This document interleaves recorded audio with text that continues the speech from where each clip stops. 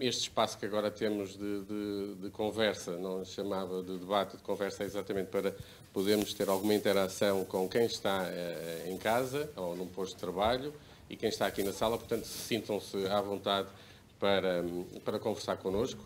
Uh, o José Augusto está atento às interações via YouTube, portanto, via YouTube, que não, como não temos som, mas temos um chat, podem colocar alguma questão que será depois aqui uh, retransmitida.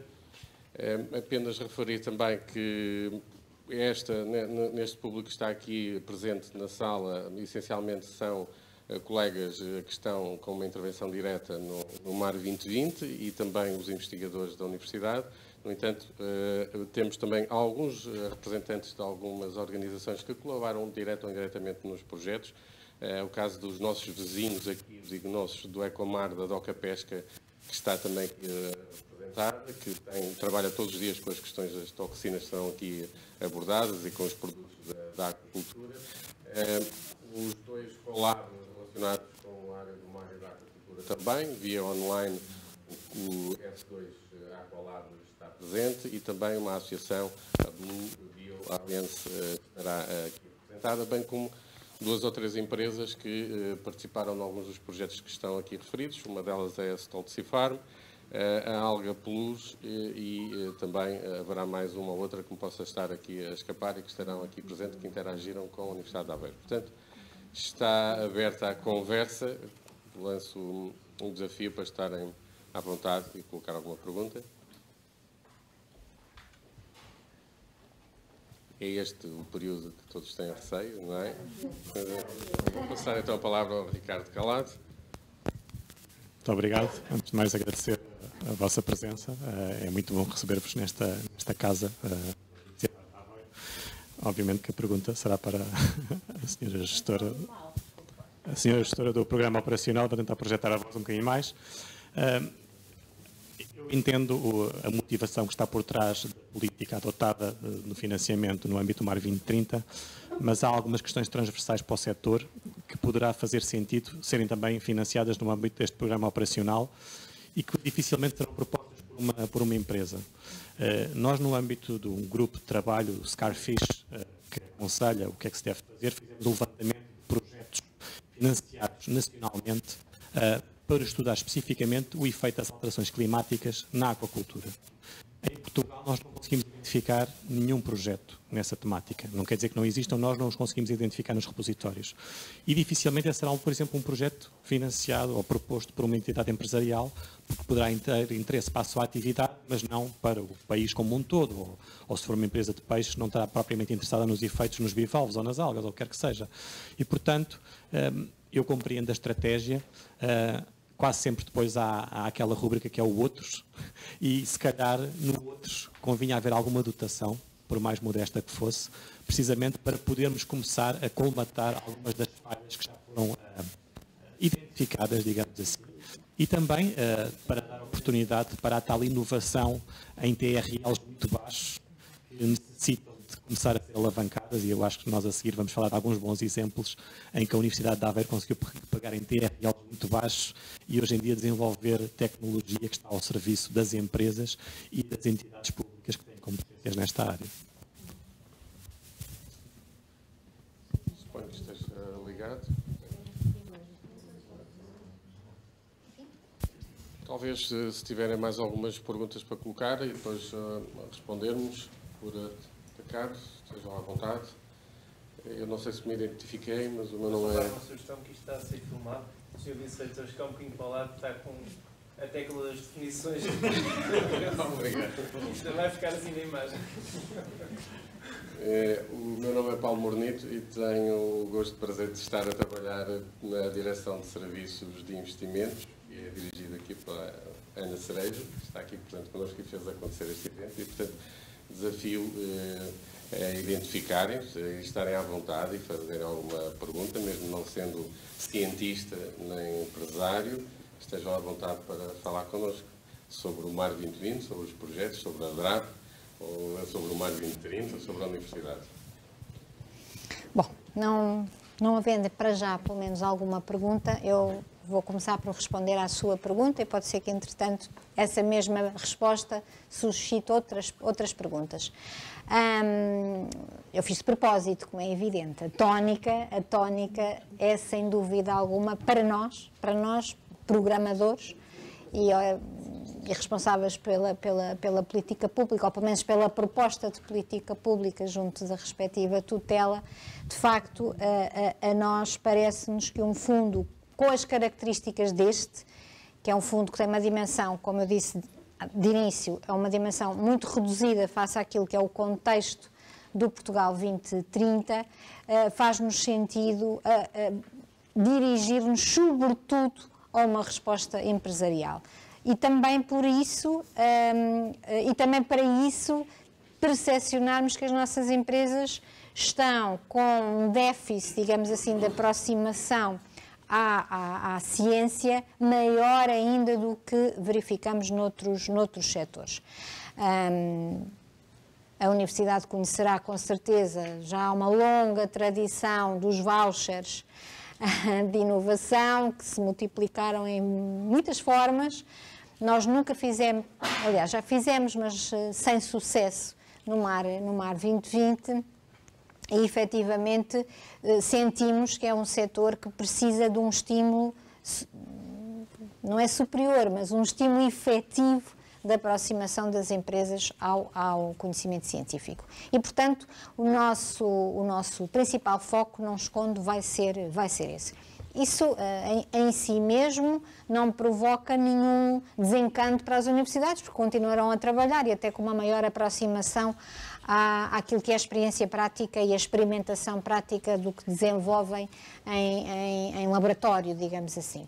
Quanto à questão de uh, mais abrangente ou mais transversal ou de aspectos que não, não são despertáveis por uma, um, numa única empresa, há várias soluções possíveis, ou há um conjunto de empresas, associações empresariais, ou outra figura que, no fundo, façam esse match entre o, mundo científico e o mundo, e o mundo empresarial, ou, uh, com certeza que, e por isso é que falei há, há, há pouco, o acordo de parceria foi montado para que haja complementaridade entre fundos. E, portanto, a nossa expectativa é que uma resposta mais robusta a, a, a investigações científicas de natureza mais transversal seja encontrada mais em programas que têm uma resposta transversal para os vários, para os vários setores e menos no AR 2030. Isso não significa que de todo, como dizia há pouco, os tais outros não possam aparecer projetos que, pela sua importância e pela sua necessidade e pelo seu foco uh, exclusivo no setor, não possam vir a ser financiados pelo MAR 2030. Mas, efetivamente, do ponto de vista de política pública e de gestão de recursos, também escassos, não são naturais, mas financeiros, também eles escassos. De facto, a nossa estratégia vai ser tentar aproximar e cativar as empresas a virem-nos bater à porta. Um, esse é o caminho que iremos procurar, procurar promover em primeira linha. Portanto, e, esse, e esta mensagem eu queria vos passar até para, para também se posicionarem um, na vossa relação com o futuro programa com esta nova perspectiva, porque mudar é sempre uma coisa um bocadinho complicada e, de facto, aquilo que nós gostaríamos que acontecesse era este, este caminho. É claro que os programas são pensados de uma maneira, a vida depois mostra-nos às vezes que não temos razão e ajustamos, ou existem fatores externos, pandemia ou outros, que nos levam a fazer reprogramações, mas para já o programa está configurado com esta resposta mais uh, efetiva, digamos assim, do lado, do lado empresarial. Na aquicultura há aqui algumas exceções, porque há de facto aqui ainda um caminho a percorrer do ponto de vista de aconselhamento científico, que pode não interessar a uma única empresa, mas ao conjunto das empresas emergentes uh, e, portanto, vamos continuar a ter aqui aconselhamento científico de uma forma mais presente do que, do que noutros setores. E as parcerias entre cientistas e pescadores, com certeza que sim, porque é um caminho necessário nas várias vertentes, na vertente empresarial, na vertente da sustentabilidade e, portanto, encontrarão lá oportunidades de financiamento com certeza. Não sei se respondi à sua pergunta. José Augusto, não sei se há alguma questão. Não, não é? Portanto, está tudo muito Nós somos claríssimos, claríssimos. Eh, não, não havendo, nós também já passamos o tempo que tínhamos previsto para o debate e às 10h30, aliás, agora, 11h30, estava suposto começar a apresentação dos projetos uh, particulares. Uh, passava só aqui uma breve palavra aos, aos oradores que estiveram nesta primeira sessão, uh, ao nosso diretor regional, que teve aqui o que nós falamos, a oportunidade de mostrar que eh, as peras eh, de Viseu ou os presuntinhos de Viseu podem estar junto das algas eh, e a, a produção de, de, queijo junto da produção de peixe. Esta particularidade da junção também do setor que está organicamente numa mesma instituição, não é? Direção Regional da Agricultura e Pescas, e a proximidade com as empresas. E perguntava também, só a título também de despedida, se acha que podemos ter daqui a 15 anos um quadro onde juntamos agricultura e mar? Juntaremos com certeza. Eh, o que interessa, sobretudo, é contribuir para um desenvolvimento harmonioso do território. E, eh, quer um setor, quer outro, eh, são absolutamente decisivos e importantes para, isso mesmo. E este caminho que temos que fazer de encontrar soluções inovadoras para, para responder às muitas uh, e exigentes soluções que temos que encontrar. Uh, nós, como sociedade, estamos confrontados com uh, um desafio enormíssimo, que é alimentar um número cada vez maior de pessoas no planeta e a agricultura e o mar são as bases essenciais. E sabemos que a natureza também tem limites finitos. Eh, tá, é, é claro, quer num setor, quer noutro, a inovação e a investigação para isso muito, contribuir, muito contribuirá no sentido de encontrar soluções alternativas que aumentem, por um lado, as produtividades, mas que, sobretudo, que encontrem novas soluções.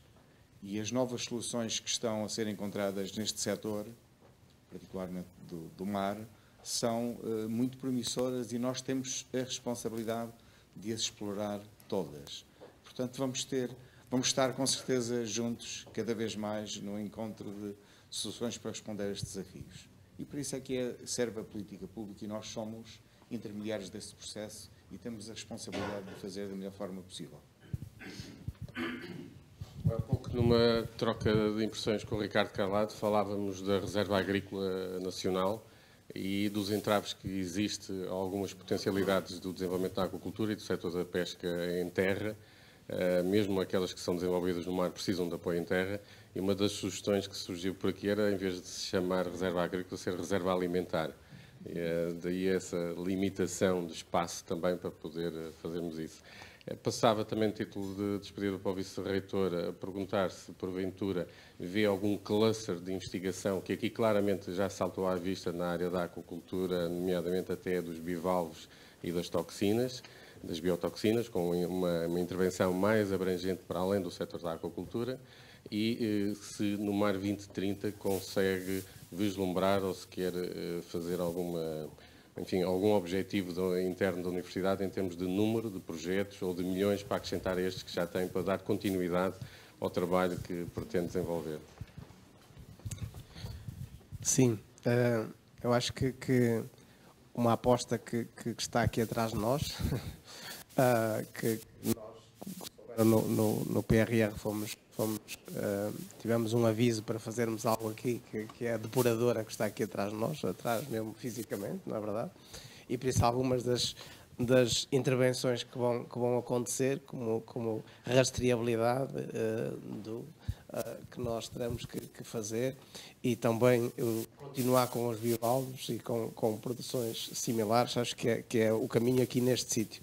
Mas acho que na, na universidade irão então, estas ligações que vocês acabaram de dizer, agricultura e mar, mas há também muita alimentação Uh, que nós podemos ir, logicamente que as toxinas e outras coisas que, que relacionadas, mas também a exploração sustentável do mar, como referiu a, senhora diretora, acho que é, é também algo que nós temos que apostar e que nós temos que, uh, com as empresas de, de eu disse há bocadinho numa, numa nota, não só da região, nós temos que ir nacionalmente à procura eh, da colaboração. O Sr. Diretor dizia que as, as empresas é que têm que bater à porta, nós também temos que ir bater à porta delas para, para motivá-las, para elas virem, para trabalhar connosco, para ver, mostrar-nos que, que nós conseguimos eh, eh, dar soluções. Aqui há, uns, aqui há há três ou quatro anos nós fizemos uma um, eu era o presidente do conselho da, da escola doutoral e fizemos um evento está um bocadinho longe do mar mas na Bosch. E que trouxemos 30 empresários. E a primeira pessoa a primeira sensação que eu tive de alguns dos empresários da região era assim bom mas nós pensávamos que os doutores eram uns Einsteins com o cabelo assim todos para cima, com a bata branca, que aquilo não servia para nada. E na altura escolhi, escolhi uns 10 temas de que alguém que fez, por exemplo, matemática, que tinha utilidade, porque ele dimensionou todos os cabos que estavam no carro. Estão a ver, Yazaki foi um estudo que foi, qual era o lucro que ele tinha só fazer, uh, utilizando ali matemática. Depois fomos, fomos para a mecânica, para, para, para, para a cerâmica, e foi um torno. Como é que alguém dimensiona um torno e teve um lucro espetacular? Por isso, muitas vezes é nós, chegar, para chegarmos à empresa, temos que mostrar isto mesmo. Não somos Einsteins, não andamos só de bata branca, mas conseguimos fazer alguma coisa que nos faz utilidade, que traz utilidade. Ah, seguindo a provocação, logicamente que o- a Universidade e o Vice-Reitor que anda à procura de financiamento quer pelo menos triplicar aqueles números que lá está. Agora, não sei se nós conseguimos ser eficazes e se ah, ah, depois, quando analisam do outro lado, se vão começar, vamos ter, os cientistas vão ser com capaz, vocês viram que foi classificado os vossos projetos de cinzentos. Vocês têm que provar é que os vossos cinzentos são verdes, é para dar o financiamento que nós estávamos à espera. Bom, acho que vamos ter um bom dia, um dia animado. Obrigado. Muito obrigado. Passamos um pouco o tema, agradeço a participação pa- e vamos agora eh, apresentar eh, detalhadamente então alguns dos, dos projetos. Fica também aqui a nota enquanto promovemos só a troca do, do microfone para o orador que se segue, eh, do evento que o MAR 2020 vai eh, organizar eh, na Batalha e que terá de facto eh, essa, essa virtude de poder não irem despenteados para lá e mostrar e levar o protótipo da depuradora e outros que a en- encontrar eventuais parcerias com empresas, que esse será o objetivo do encontro que o MAR 2020 vai promover, para surgirem então projetos novos no MAR 2030 e noutros fundos comunitários. Obrigado mais uma vez à, diretor, à gestora do MAR 2020, Ina Ferreira, ao diretor regional de Agricultura e Pesca Docente, Fernando Martins, e Artur Silva, vice-reitor da Universidade. Passamos com algum atraso e vamos pedir essa aceleração ao Ricardo Cal